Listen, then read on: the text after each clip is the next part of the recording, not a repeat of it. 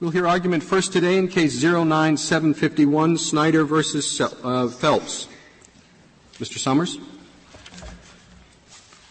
Mr. Chief Justice, may it please the court. We're talking about a funeral. If context is ever going to matter, it has to matter in the context of a funeral.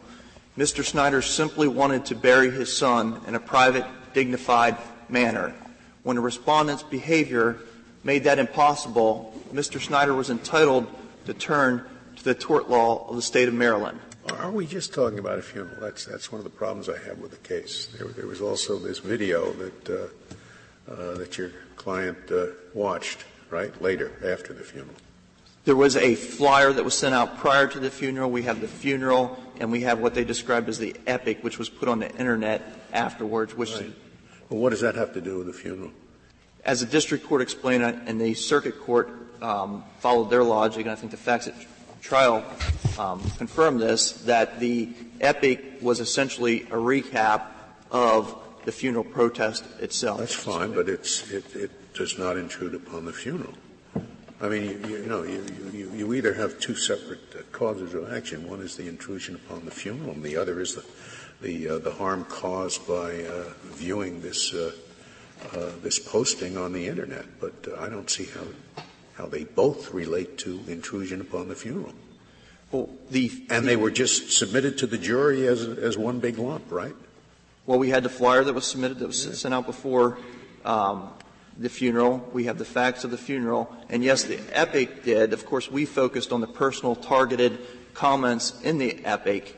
Um, when we presented our evidence, but yes, it Suppose was. Suppose there hadn't been a funeral uh, protest, just the epic. Would, would, would that have uh, uh, supported the cause of action you, you assert here? I think that's a closer call, but when we have the personal. Yes or no? I would say yes, because we have the personal targeted um, epithets directed at the Snyder family. Even we, though it's, it's uh, he doesn't have to watch them. They're just posted on, on the Internet.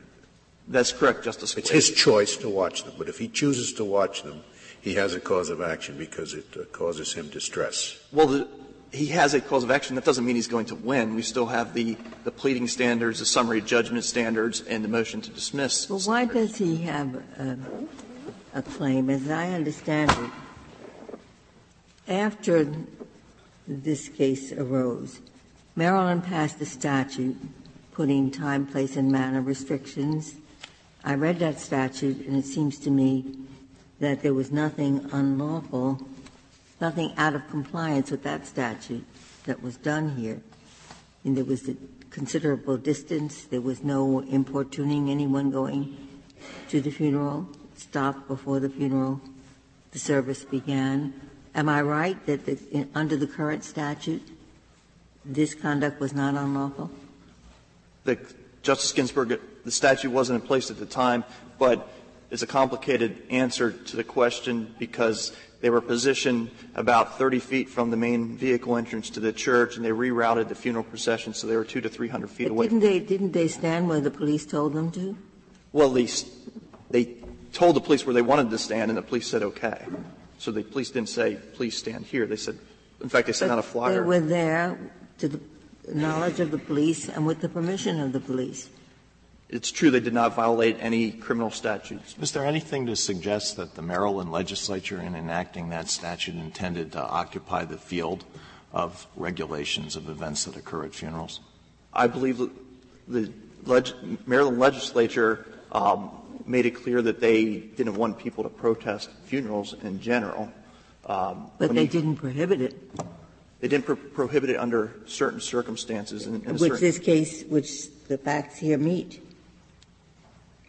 for statutory um, enforcement, but what we're dealing with here is tort law. Well, that statute applies to any protest at funerals, protesting the Vietnam War, protesting whatever. Your case uh, in, involves, at least if we accept your version of it, uh, a, a, protest of the of, of, the dead soldier who, who, who is going to hell and, and whose parents have uh, raised him to go to hell.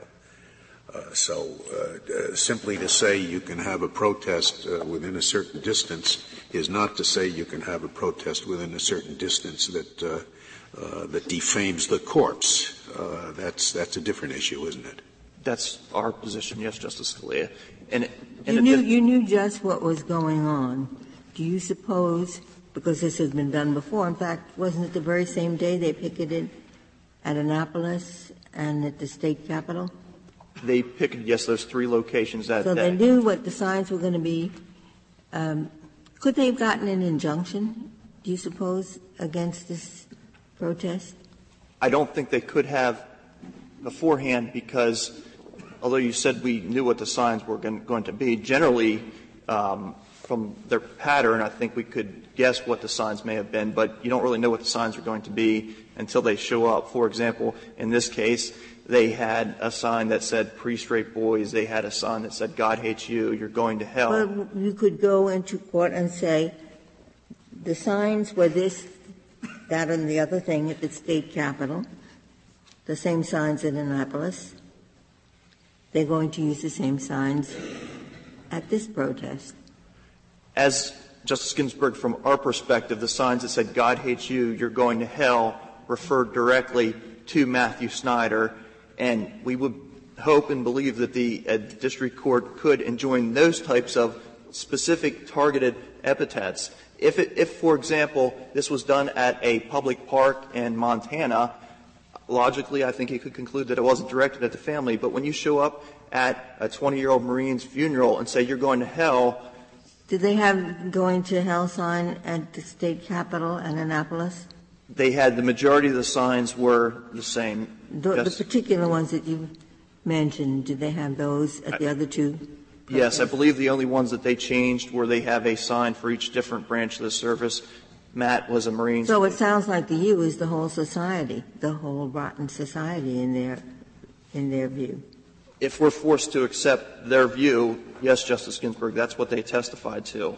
Mr. Snyder's view, the view of the Fourth Circuit, was that these God hates you and you're going to hell signs specifically um, referred to Matthew Snyder. And the thank God for dead soldiers, um, Mr. Snyder certainly interpreted that as referring to his son, because after all, Matthew Snyder was the only deceased Marine slash soldier. Where, where did the, you said the Fourth Circuit found that those signs targeted the family rather than the whole U.S. society? the God hates you and the you're going to hell sign were the ones that the Fourth Circuit said they can avoid um, that issue because they can simply say this was hyperbolic and protected um, pursuant to its interpretation of Milkovich under defamation law, and then its extension of Hustler versus Falwell. Do you think that the epic is relevant as an explanation of some of these arguably uh, ambiguous signs that were displayed at the funeral? For example, you're going to hell, God hates you, who is you? If you read the epic, perhaps that sheds light on who you is. it can shed light, but if you put this in the context of a funeral goer, Justice Alito, what you have is it was a typical funeral. Family members driving in, and Well, yeah, but the signs say you, and the argument is made you doesn't mean Matthew Snyder, it means a larger group. And then you have the epic, which is directed directly at Matthew Snyder. Doesn't that show, uh, shed light on what you meant on those signs? correct, and that's where I was going to go with that, Justice Alito. The, the epic specifically re- referenced um, Matthew Snyder by name, specifically referenced Matthew's parents by name.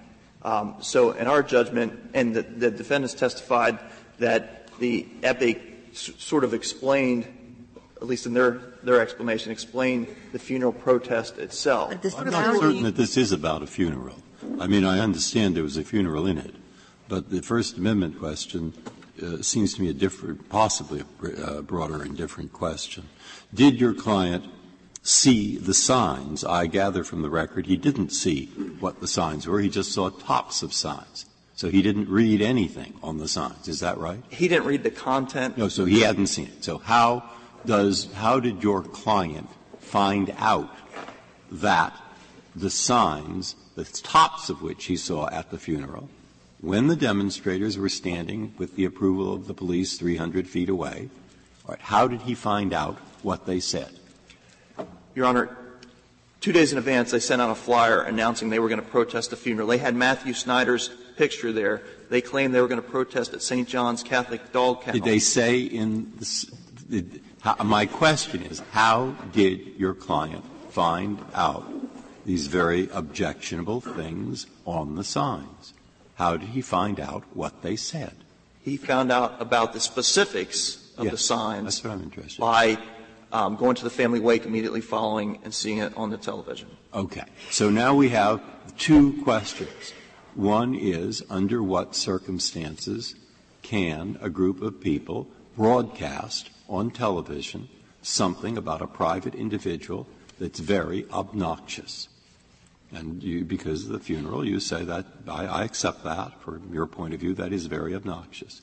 And the second is, to what extent can they put that on the Internet, where the victim is likely to see it, either on television or by looking it up on the Internet?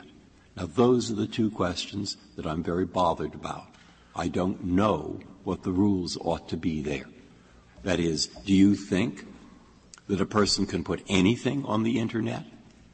Do you think they can put anything on television, even if it attacks, say, the most private things of a private individual? Does Maryland's, does Maryland's law actually prohibit that? Do we know it does?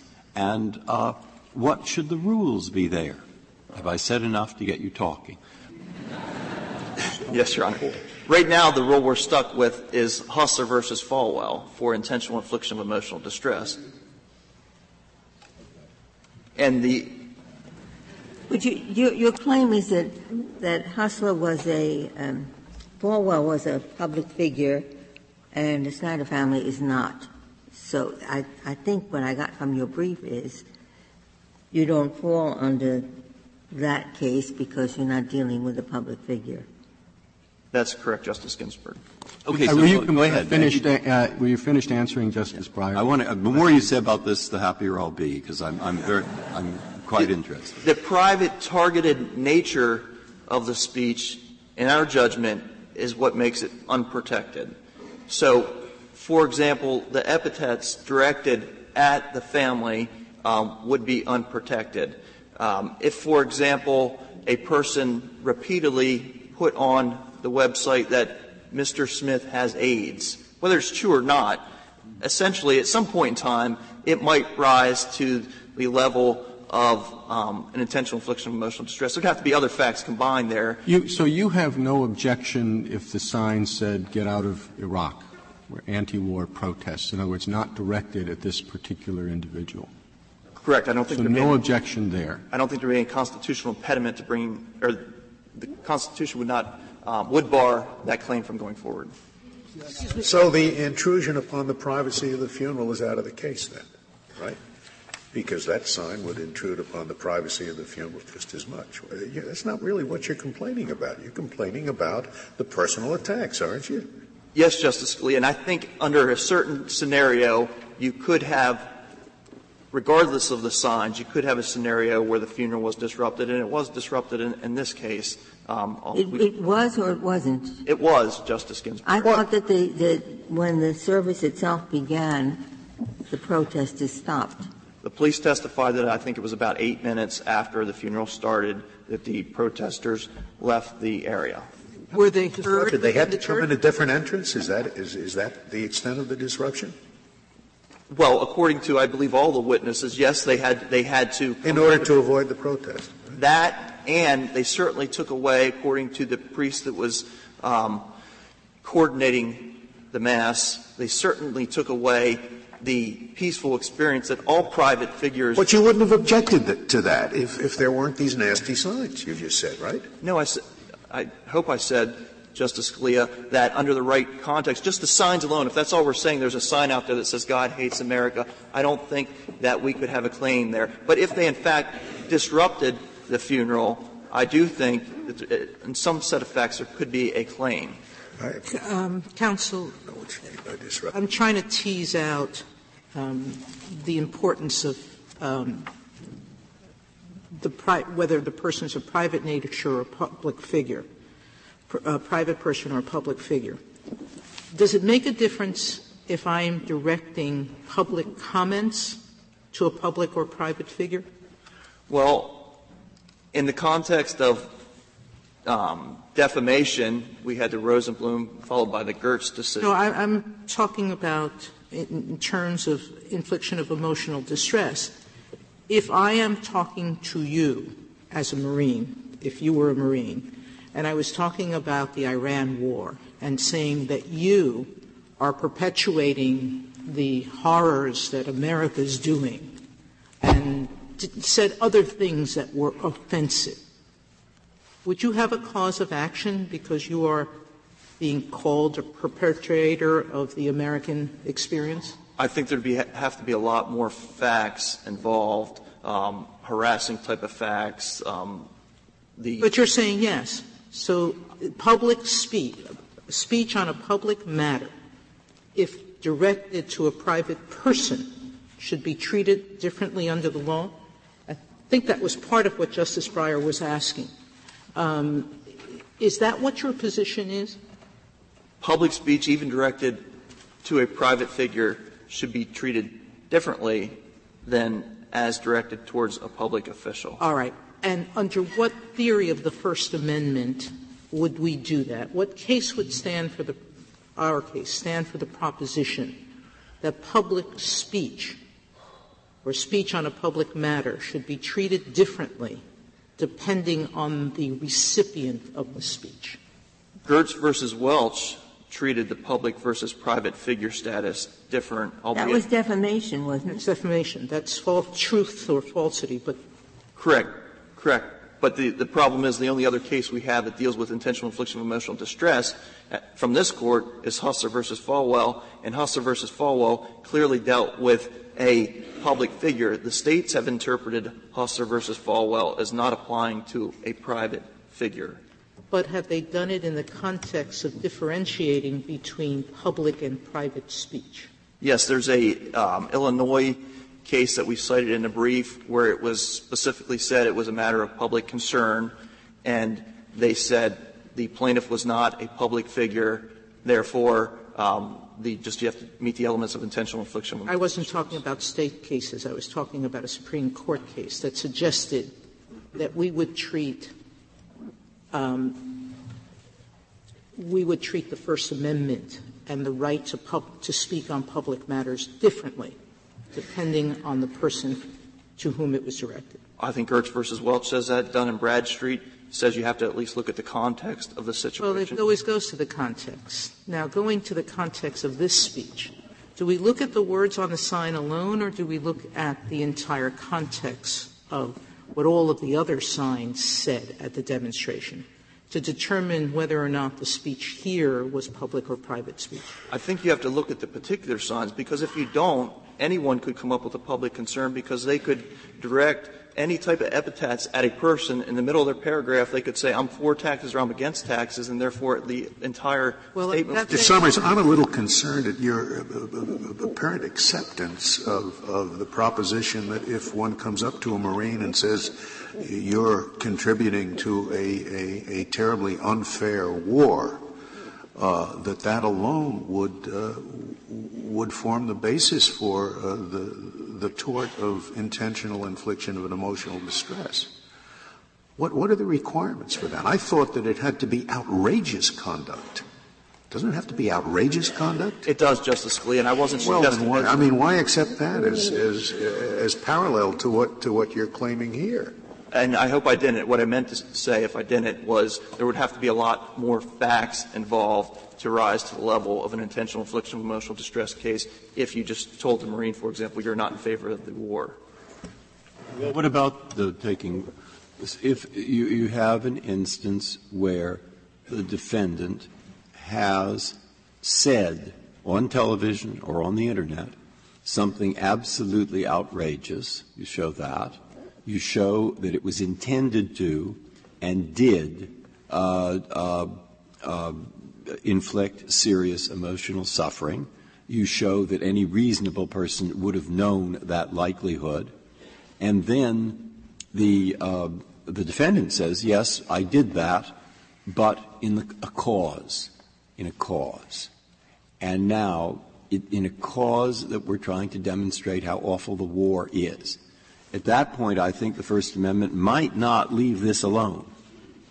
But if it's not going to leave this alone, there's where we need a rule or we need uh, an approach or we need something to tell us how the First Amendment in that instance will begin to enter, enter and force a balancing.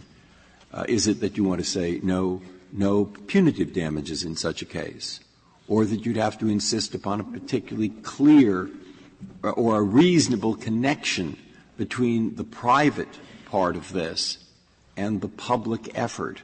Have you thought about that at all? Because that's where I am thinking and having trouble. The, I think the standard should be Hustler versus Falwell generally does not Well, apply. Hustler, Hustler versus Fal- Falwell is defamation.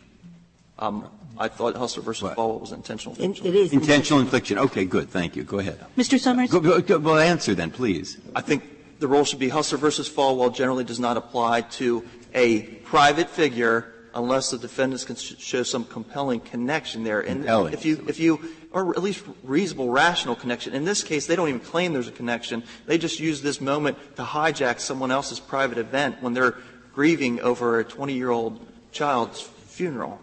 Mr. Summers, um, Hustler seems to me to have one sentence that's key to the whole decision. And it goes like this. It says, outrageousness in the area of political and social discourse has an inherent subjectiveness about it, which would allow a jury to impose liability on the basis of the juror's tastes or views, or perhaps on the basis of their dislike of a particular expression. How does that sentence, how is that sentence less implicated in a case about a private figure than in a case about a public figure? Well, at least in Hustler, um, Justice Kagan, at least in Hustler versus Falwell, we had a traditional area of public discourse. We had a parody. With, I believe the opinion went to great length to explain that. Um, here, what we're talking about is a private funeral. I don't. Um, I would hope that the First Amendment wasn't um, enacted to allow people to disrupt and harass people at someone else's private funeral. So, but that goes back to the question that was asked previously about suppose you had a general statute that just said there will be no disruptions of any kind at private funerals. You know, pick your distance, 500 feet, 1,000 feet. Um, but something that, that didn't refer to content, that didn't refer to ideas, that just made it absolutely clear that people could not disrupt private funerals. Uh, what harm would that statute not address in your case? Well, the states have, in the statutory case, they have the interest of penalizing the offending party. In tort law, the state's interest is to provide a remedy for its citizens. Under the Fourth Circuit's interpretation of these facts, Mr. Snyder has absolutely no remedy. None. He's a private figure, a grieving father, and he's left without any remedy whatsoever. Do we have uh, other instances where conduct is lawful, meets all the terms of the, the statute that meant to govern uh, protests at funerals, and yet um, there is an award of damages permitted? I believe that the Hustler versus Falwell was a, um, had several tort claims, but there was no criminal statute um, violated. I understand that it went the other way because of the public figure status, but that would be an example. Um, another example. But that was, a- that's, I'm asking you for an example where, a a Federal case where the conduct was permitted by the statute, by the police who were there, and yet there were, it was a damage award. Justice Ginsburg, I am not aware of any case, but I think the, if some, for example, if someone sued someone for defamation, there probably wouldn't be a statute that was violated, so I don't, um, I would. I'm, I'm talking about this intentional infliction of emotional distress claim that you're bringing. I, other than Hustler versus Falwell, I do not have any Federal cases to cite to you. The State cases we cited in our brief. Is this a situation in which all conduct that complies with the Maryland funeral protest statute is lawful? That the Maryland legislature said this is the, these are the exclusive regulations that apply here? So that if someone came up to Mr. Phelps at, at the funeral and spat in his face, that would not be, that wouldn't be illegal? Justice Alito, I don't know whether that Because would be it's not specifically prohibited by the statute? Well, it certainly would be because of the distance. I mean, you'd have to be a lot closer than the Maryland statute allows to Well, spit in somebody's face. Uh, Perhaps you'd like to answer Justice Alito's question. I believe that you could um, commit a tort and still be in compliance with the criminal code, Justice Alito. Mr. Summers, can I, can I ask you, suppose, suppose I don't think you have a cause of action for invasion of privacy when these people were uh, at this distance from the funeral, but that was one of the causes of action submitted to the jury. Uh, if, if I disagree with you on, on that cause of action, I suppose uh, I'd have to say there has to be a retrial now. Of course, this court could do that, Justice Scalia. So you, you have to support both causes of action here, the intentional infliction of, emo, of mo, emotional distress and the invasion of privacy, right? Yes, Justice Scalia, but the, according to the Fourth Circuit, we'd agree that the respondents waived that issue by not appealing that issue. Waived, waive what issue? The invasion of elements of the invasion of privacy. They didn't contest that we met the um, elements of the tort. They, claim, they contested the constitutional issue, but not whether or not we met the elements of the tort. Uh, all right. Okay. And could, could I reserve the remaining? Thank you, counsel.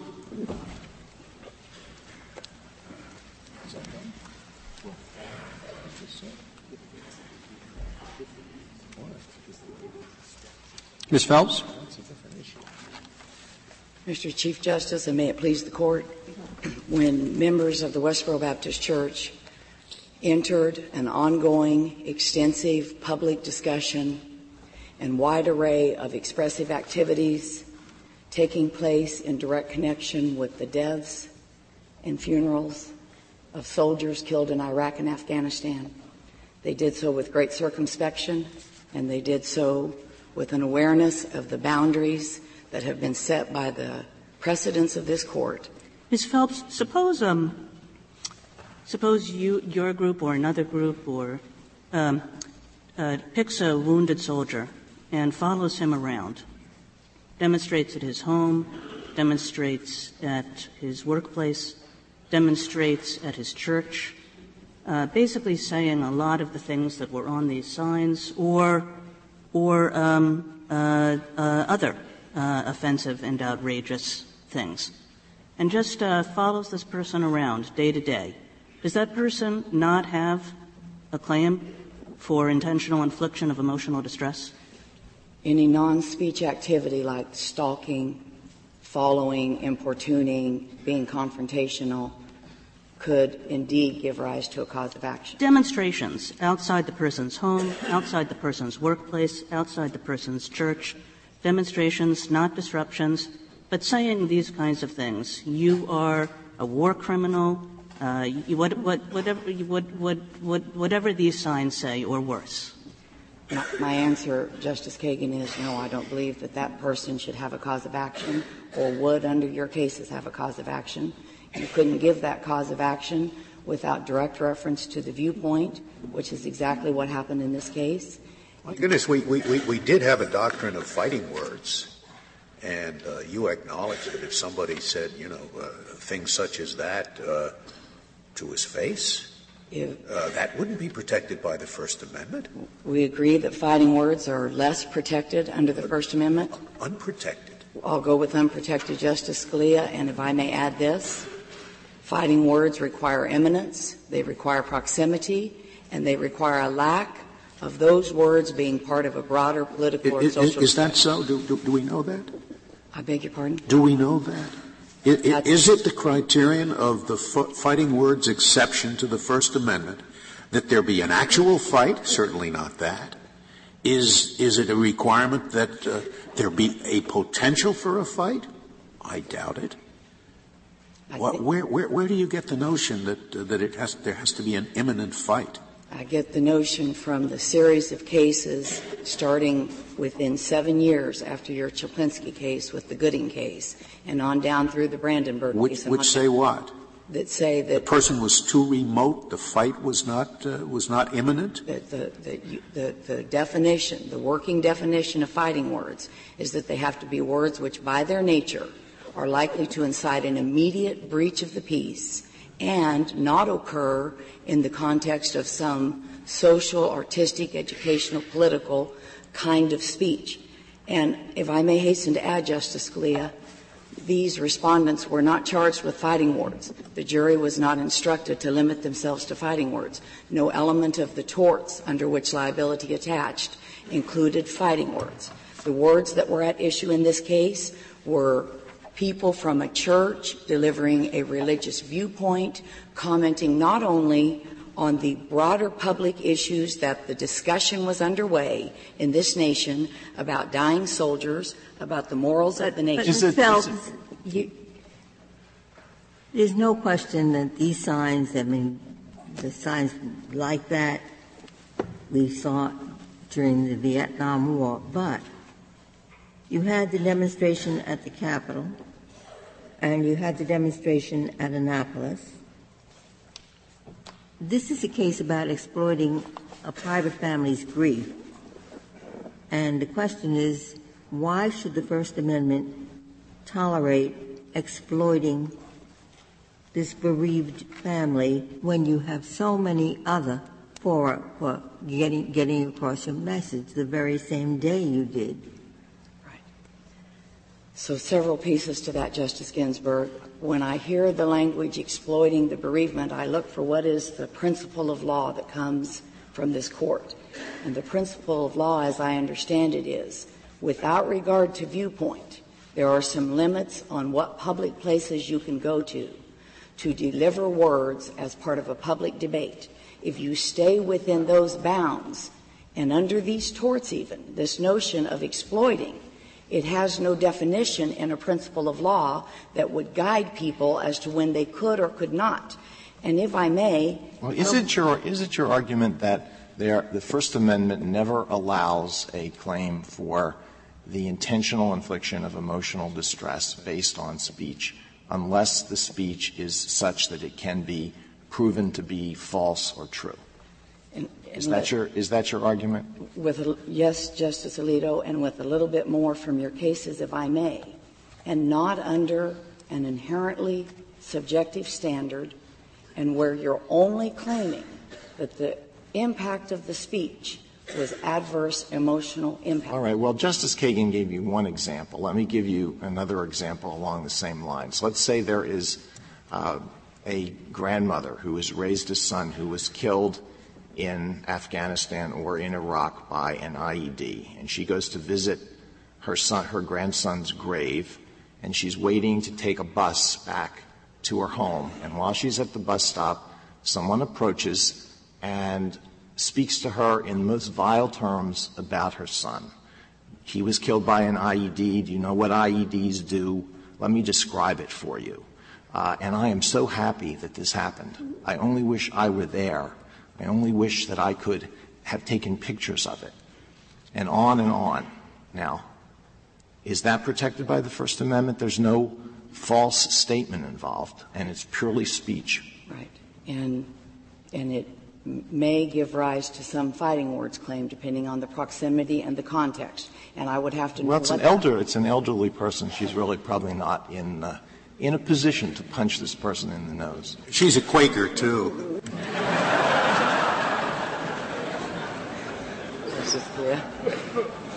Let, let us assume that the grandmother had not done what Mr. Snyder did in this case. Mr. Snyder, from the moment he learned of his son's death, went to the public airwaves multiple times in the days immediately before and immediately after. So what is your answer to, what is your answer to Justice Alito's question? Do you think the First Amendment would bar that cause of action or not? There would have to be a very narrow circumstance where it didn't, Mr. Chief Justice. So you think there are situations where a tort of intentional infliction of emotional distress is allowed uh, even for a matter of public debate?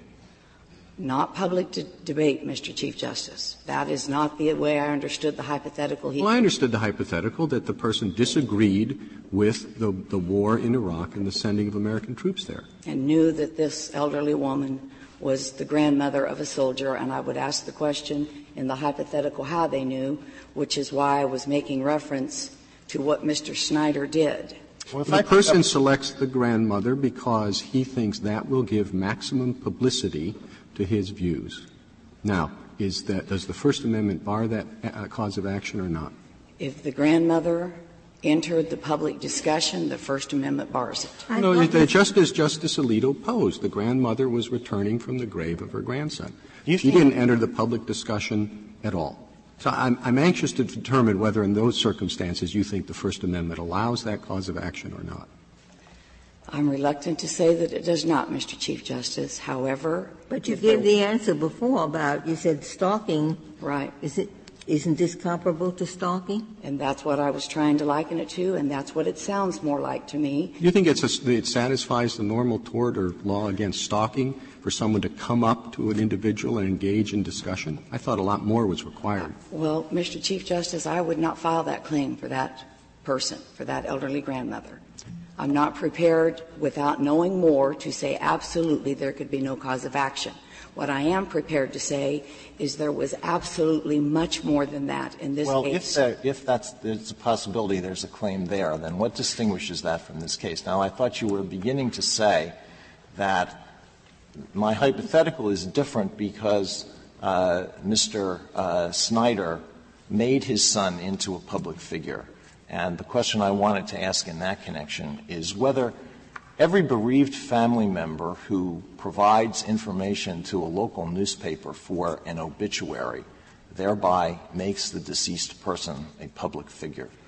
Not the deceased person, Justice Alito. We don't allege that the young man dead was a public figure. We But do. if the grandmother called up the local paper and said, let me tell you something about my grandson who was Yeah. just killed in, in, in Iraq, you know, he liked football and camping. Uh, that makes him, that makes her a public figure? It's getting closer. And Justice Alito, if she went on then to say, and how many more parents like me and my ex-wife are going to have to suffer this way, and when will this senseless war end? And I've gotten Congressman Murtha on the phone and talked about this situation, and I'm against the war, and then proceeded to repeat that question in the public airwaves repeatedly.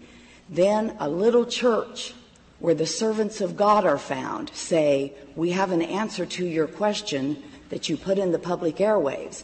And our answer is, You've got to stop sinning if you want this trauma Your, to your response, your response to Justice Alito is dwelling on the facts of this particular case. Yes. I'm interested in knowing what your position is on the broader question. Can you imagine a circumstance where this same type of discussion is directed at an individual and yet would give rise to the tort of emotional distress? Yes, I can't imagine, Mr. I'm sorry, can or cannot? I can. I can imagine that there could be a circumstance, a hypothetical, where there was not this level of involvement and it was out of the blue and it was up close, if I may use the term. Okay, so if you recognize that there can be a tort of emotional distress in circumstances like that, isn't that the factual question of whether it rises to that level of which is part of the tort, for the jury? I don't agree with that, Mr. Chief Justice, because you've now taken a uh, an inherently subjective standard with the absence of any of these non-speech misbehaviors.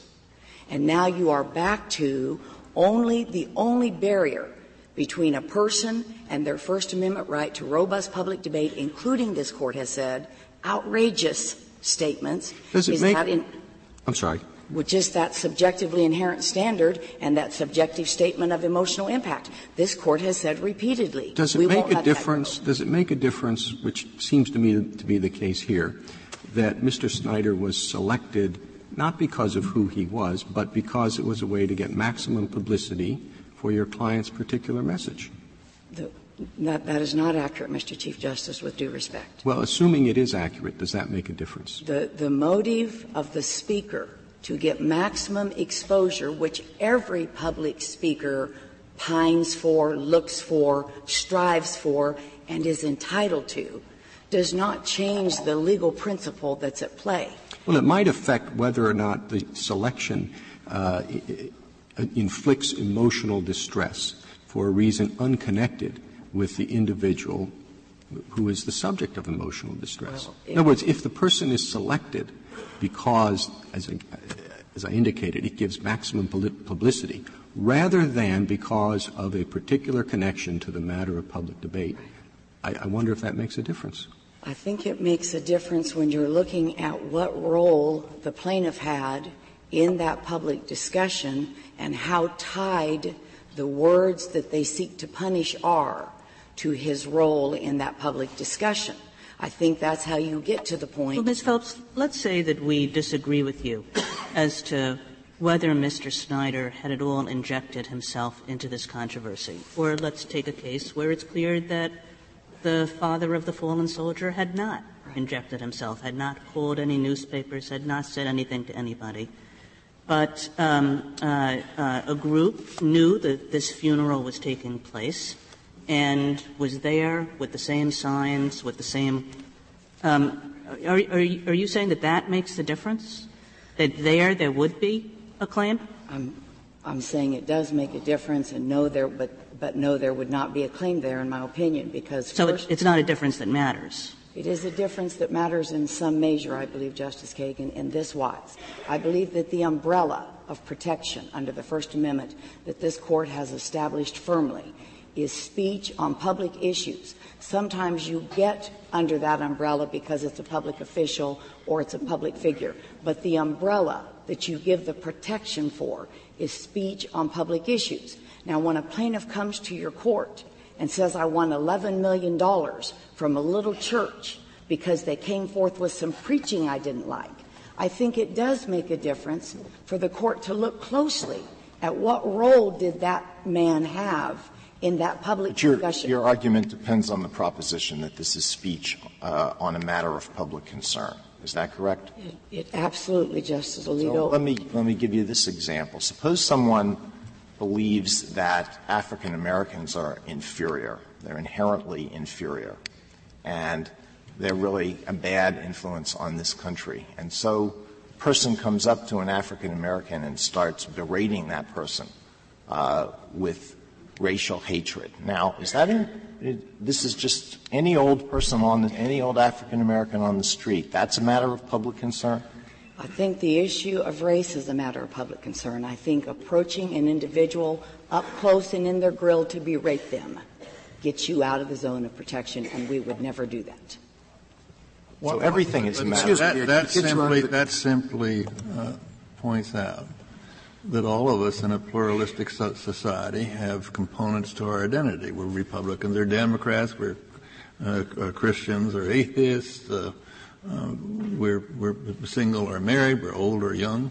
Uh, any one of those things you could turn into a public issue and follow a particular person around, making that person uh, the, the target of, of your comments, and in your view, because this gives you maximum publicity, uh, the more innocent, the more removed the, the person is, the, the, the greater the impact. The, the Justice Alito hypothetical in, in, in, in the grandmother case. So I, I, I think I think your, uh, your your public concern issue may may not be a, a limiting factor in, in cases uh, where there is an outrageous conduct and where there should be a tort. Well, but again, this court has given substantial, long-standing protection to speech on public issues, and how could it be gainsaid that the dying soldiers is not on the lips of everyone in this country, and it is a matter of great public interest and why they're dying and how God is dealing with this nation, were you to consult the joint appendix and see that at the very same funeral, right outside the front door of the church, were people with flags and signs articulating the God bless America viewpoint. And so this little but your church, position is that you can take this and you can follow any citizen around at any point. That, that, that, that was the thrust of the uh, questions from Justice Kagan. Not follow and, and, and, and, and, Justice Alito. And it seems to me that there, there, you, you, should help us in finding some line there. Yes, I will help you, Justice Kennedy, and I'm pleased to do that because we don't do follow around in this church. We were a thousand feet away, seven picketers, a thousand feet away, out of sight, out of sound, not just standing where the police said to stand. But, but, the, but the hypotheticals point out that there can be an intentional infliction of emotional distress action for certain harassing conduct. for harassing conduct, not for speech, not for public speech, Justice Kennedy. But torts and crimes are committed with words all the time. I agree with that. And, and there's never been any allegation in this case that the words of the Westboro Baptist Church were in any category of low value or less protected speech. Well, let's talk about subjectivity. You're, you're concerned about some. Surely, uh, fighting words is, uh, you know, whether something's a fighting word, that's a very subjective call, isn't it? I, I believe that your cases give some good light on that, Justice Scalia. You don't think it's subjective? Uh, there may be in some people's mind an element of subjectivity. My 20 Oh, years you think that's solid? Oh, absolutely. What's a fighting word? Whereas what, what is an outrageous statement is, is, uh, is very much different from what's a fighting word. Well, I don't see the difference. Besides which, isn't it the case that in order to recover for the tort of uh, uh, Intentional infliction. intentional infliction of emotional injury, you have to substantiate the injury with some physical manifestation, which the plaintiff here had. There- And, and my goodness, for fighting words, you don't even need that. You can just say, you know, the, these words angered me to, to the degree that uh, I, I would have been inclined to fight.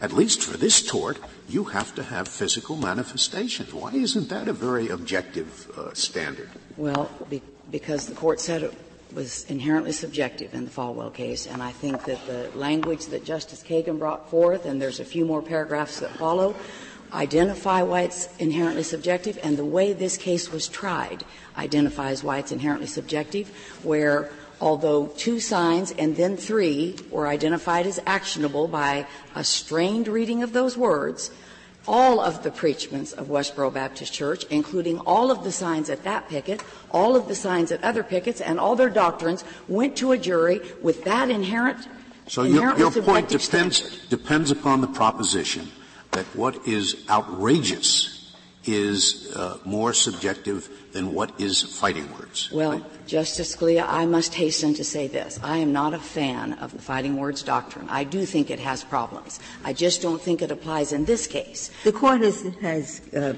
made that a very narrow category, hasn't it? I mean, we have not allowed the fighting words. The, you say that to me, and I'm immediately going to punch you in the nose because I, it's an instinctive reaction. I think the court has rejected spreading fighting words beyond that. And especially not to where there's just emotional injury. That's where I particularly think, although Chaplinsky would have suggested in some broad language you'd go that way, you have not gone that way in any of the cases. And again, I have to reiterate, you have required immediacy and an intent. Whether a fight ensues or not, I do understand that hasn't been pinned down as a requirement. But an intent that your purpose is to mix it up with somebody, not to go out and say, Nation, hear this little church.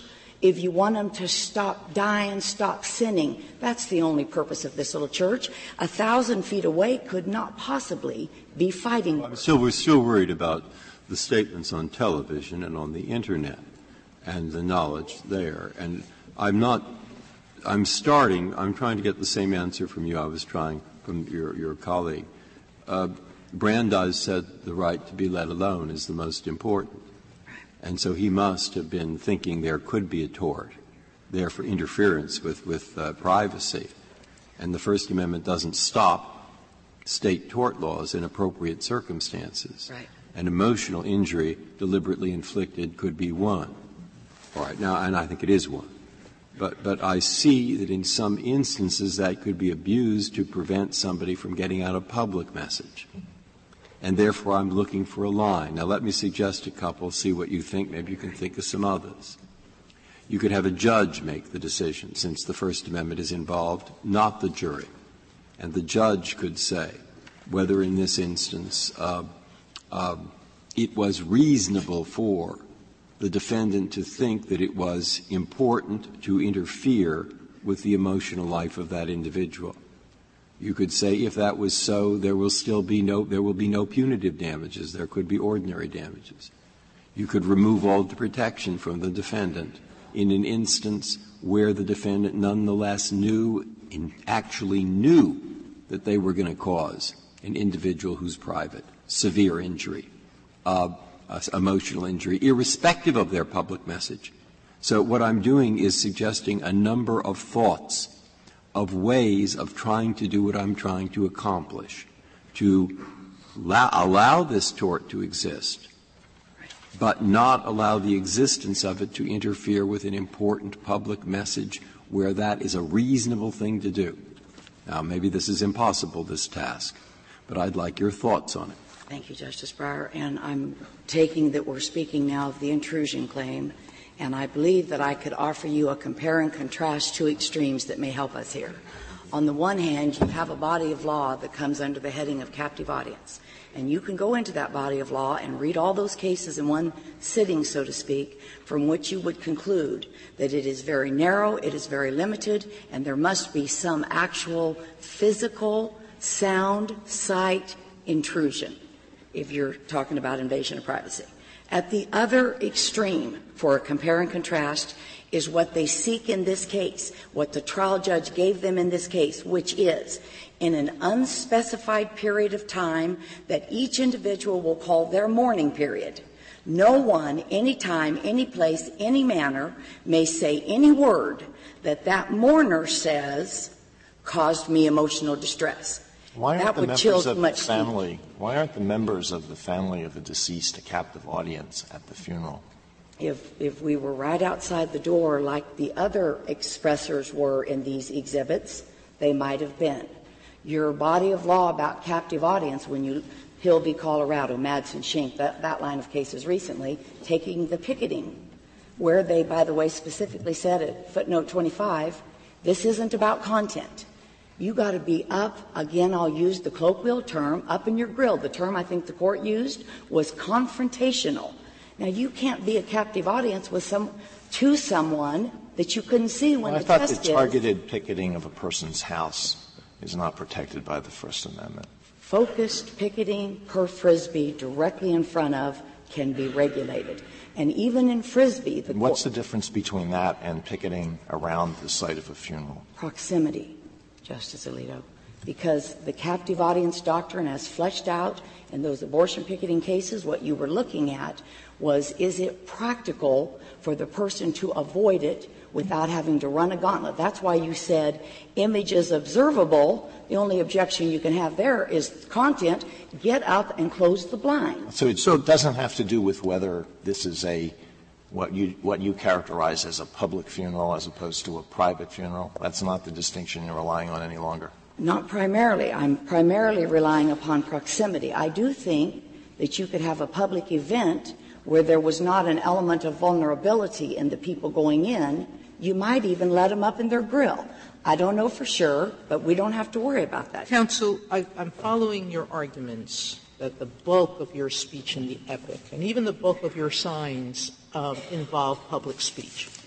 What you have not explained to me is how your speech directed at the Snyders constituted um, public speech or speech about a public matter because you're talking about them raising Matthew for the devil, teaching him to, I think, uh, defy the Creator, to divorce and to commit adultery.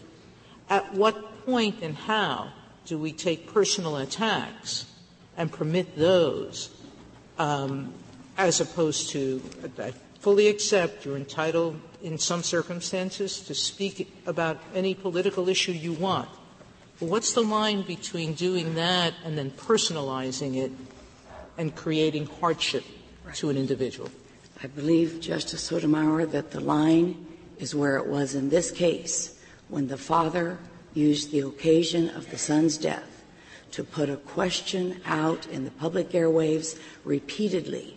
So if we disagree that that made him a public figure, if we view him as a private figure, is that enough to defeat your argument? No, Justice Sotomayor. Right, so assume he's a private, that the Matthews are private figures, and you did this. Right. so explain to me how you're protected by the First Amendment. If, without regard to what label is put on a person who steps into the public discussion, you want to change my assumption. We assume that he's a private figure. You have now made a public statement and directed personal comments at an individual who's a private figure? Well, Is that actionable? I, I don't know, Justice Sotomayor. I don't know that I can give you a definitive answer as you framed it. What I can tell you is that I think the court would have great difficulty making a rule of law that whether you call yourself private, public, limited, whatever, you, not the person you're mad at over their words, but you step into the public discussion and make some public statements, and then somebody wants to answer you. Well, so that what, what if, did Mr. Snyder, the father, become a public figure simply because his son was killed in Iraq?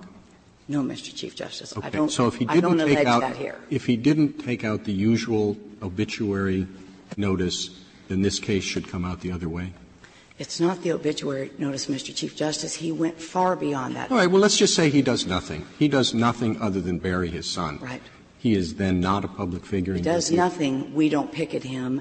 And Well, that's because if he does nothing and it's not publicized, you don't get the maximum publicity that your clients are looking for. My question is that if he simply buries his son, is he a public figure open to this protest or, or not? I don't know in the context of a war if I can give a definitive answer to that. It was not an issue of seeking maximum publicity. It was an issue of using an existing public platform to bring a viewpoint that was not being articulated. For two years, this church What, what if a parent is called after the puts in the obituary uh, information and called by the local newspaper and asked for a comment, and he says or she says, "I'm proud of my son because he died in the service of our country." Does that is he stepping into a public debate by doing that? How, by however you call it, Justice Alito, a church or anybody has the right to answer that public comment. That is our position. Thank you, Ms. Phelps. Uh, Mr. Summers, you have four minutes remaining. Thank you, Mr. Chief Justice. Mr. Summers, could I ask you to go back to an answer that you gave to one of my colleagues when you were last up there? You said that a, uh, a, a more standard anti-war demonstration, get out of Iraq, war is immoral, uh, at this funeral, same distance, same sized signs, that a more standard anti-war demonstration would be protected by the First Amendment from an intentional infliction of emotional distress suit. And I'm wondering why that is. If you think that what is uh, what, what causes the lack of protection here is the kind of glomming on to a private funeral, the exploitation of a private person's grief, the, uh, the, the, the appearance for no other reason than to gain publicity at a private event. If that's the problem, why doesn't it also apply to a standard, you know, get out of Iraq, war is wrong kind of demonstration? Justice Kagan, I say that is a, one, that's a much closer call, and two, I would look to the facts of the case to see if the funeral itself was disrupted. Um, but that isn't the facts of our case. The facts of our case was one that it was disrupted, and two that it's personal, targeted um, assaults on Mr. Well, Snyder. suppose it's not disrupted, and suppose, and I know that this is, that you contest these facts, that yours weren't, wasn't disrupted, that they stopped when you started, that they were a sufficient um, number of feet away from the funeral and so forth. So we're just talking uh, the fact that there are people who have, who are appropriating and taking advantage of a private funeral in order to express uh, their views, and they're in compliance with all the content neutral rules. I'd say that's a much closer call and not the um, But why is it a closer call? It's a closer call because it's not the person, personal, targeted nature of the um, attack on the Snyder family that we have in this case. So does that mean that now we have to start reading each sign and saying, um, war is wrong falls on one side of the line, but you're a war criminal falls on another side of the line? Is that what we would have to do? I think that, generally speaking, yes, Justice Kagan. The, the, the court, the district court would have to look at the signs as um, the district court did in this case and determine which one he believed were directed at the family and which ones were not. There was a comment earlier that all the signs were presented, well, all the signs were presented by the respondents, not by Mr. Snyder. Um, so we focus. I guess that that kind of a call is always necessary under, under the tort that you're, that you're relying upon. The conduct has to be outrageous, right? Correct. That, that always requires uh, that kind of a call, unless the tort is, is unconstitutional, as applied to all, all harm inflicted by words. Correct, Justice Scalia. The, the element of intentional infliction of emotional distress requires outrageousness. Well, well, that's true, but I was assuming a situation in which the, a jury found that the war is wrong. Uh, that a jury did find that outrageous, and the question was, uh, were we going to reverse that jury verdict because we because the First Amendment prohibited it? Again, I believe that's a closer call, and I would say yes. If it's a general statement, does not disrupt the funeral, does not target the family, I'd say that it's one, a much closer call, and yes, it's more likely that the Constitution is going to prevent that claim from going forward. The, um, I say that I'm. Thank you, Mr. Summers. The case is submitted. Thank you, Mr. Chief Justice.